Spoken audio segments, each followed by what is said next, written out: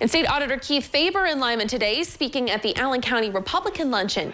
He shared the role of the auditor and his staff to place checks and balances on state and local governments to be more efficient, effective, and transparent. Most recently, they've released a report on Medicaid that showed more than 100,000 people registered in Ohio, as well as up to eight other states, costing Ohioans nearly a billion dollars. For the most part, the people who took the billion dollars are the Medicaid managed care organizations. And this is something the state ought to be going after and saying, look, you guys have a national database that you can bounce and see if people are signed up in multiple states. And the state pays Medicaid managed care organizations a per member per month fee. But these Faber says their best source of investigation is tips. If you see something going on in government that shouldn't be happening, contact his office.